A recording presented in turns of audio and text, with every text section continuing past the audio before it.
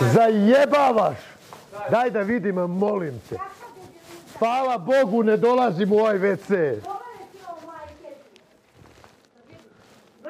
Ja Mislim da znam, ja znam ko je to radio u nekim realitima. Neko je stvarno obrisao guzicu sa sanjenim ono majice. Divno. Da vidim. Pokaži mi sad da vidim. Znam ja ko je to radio. Jao. Reklami. E, mogu sad protiv kad jedeš. Fuj.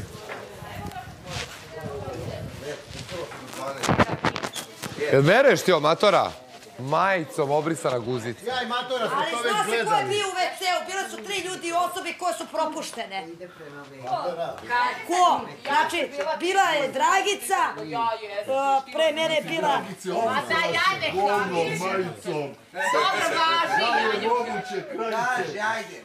Bila je Dragica, ja sam propustila Miljanu, Žiža, Ja mislim da je Žiža.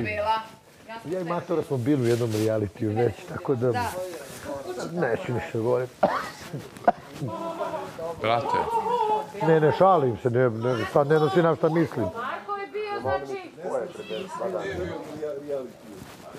Mirkoviću, kogod bude gazda, samo nek se seti da sam ja svima ravnopravno zbrojio srednji. Ja ne tražim ni veliki budžet, ni mali, ali srednji. Ja svima dao isto. Ja bih veliki. Srednji.